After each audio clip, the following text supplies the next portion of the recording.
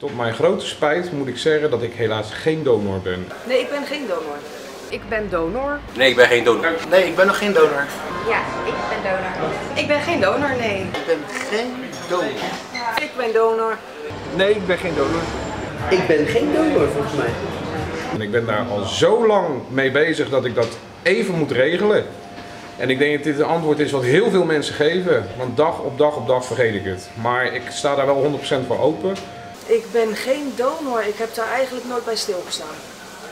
Het leven gaat gewoon door en eigenlijk nooit gedaan. Als ik dood ben, dan eh, eh, heb ik toch niks meer aan mijn lichaam. En ik wil ook gecremeerd worden, dus als ik dan toch mijn hele lichaam naar de galamiezen laat helpen, dan kunnen ze net zo goed nog gebruiken wat ze nodig hebben. Ik, stond, ik sta er niet- nooit echt zeg maar, stil of zo. Ik heb er nooit echt over nagedacht. Maar eigenlijk vind ik van mezelf dat ik het wel moet zijn. Maar ik heb nog niet de moeite genomen om mezelf een donor te laten zijn.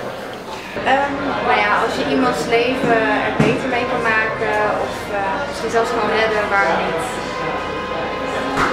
Nou, eigenlijk omdat ik van overtuiging ben dat ik minimaal 87 jaar ga worden. En tegen de tijd dat ik 87 ben, hebben ze helemaal niks meer aan wat er in mijn lijf zit, denk ik. Omdat ik eigenlijk de keuze ook een keer heb uitgesteld, denk ik. Ik ben er niet heel erg bewust mee bezig. Ja, ik heb daar zeker positieve gevoelens over. Omdat dat wel het minste is wat je kunt doen voor je medemens. Het kost geen geld, het kost geen moeite en je doet er ontzettend veel mee. En het is gewoon hartstikke nodig. Ik, ik ben geen donor, omdat ik eigenlijk nog geen zin heb om erover na te denken dat ik dood ga. Nou, ik denk omdat eh, ik nog nooit de mogelijkheid heb gehad dat iemand dat zo voor mijn neus heeft gehouden dat ik dat dan zou kunnen invullen. Want dan zou ik het wel kunnen overwegen. Ja, ik, ben, ik vind mezelf ook nog jong en vitaal, dus ik denk ik ga nog lang niet dood. Dus ik heb nog eh, de komende 40, 50 jaar om eh, me als donor op te geven. Ik weet niet of ik het wil.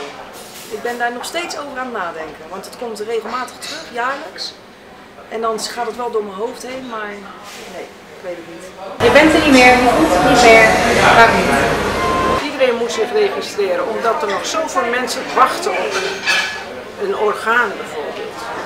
Dat is toch te gek voor woorden. Moet je doen.